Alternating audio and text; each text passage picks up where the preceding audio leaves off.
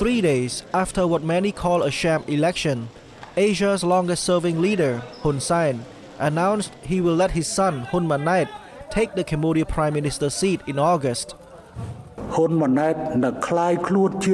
The 71 year old leader has ruled Cambodia with a tight grip for 38 years.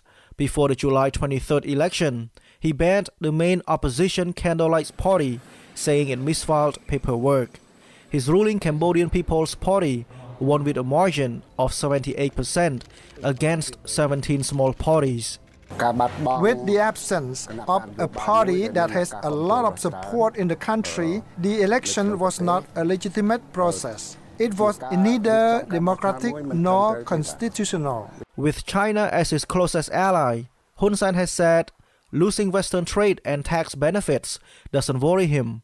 What concerns him now, analysts say, is the smooth transfer of power to his son.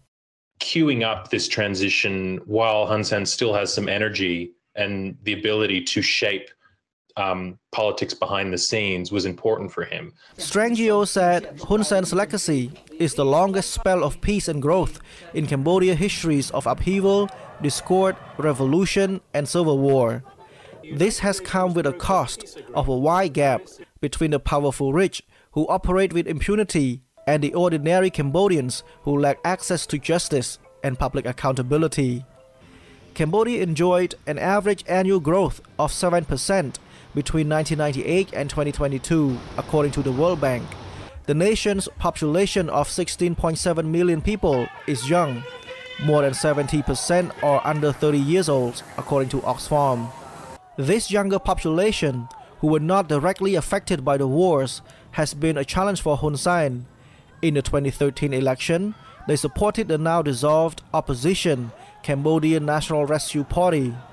Strangio said the future Prime Minister and the CPP won't be able to rely on the so-called thank you peace strategy to claim legitimacy.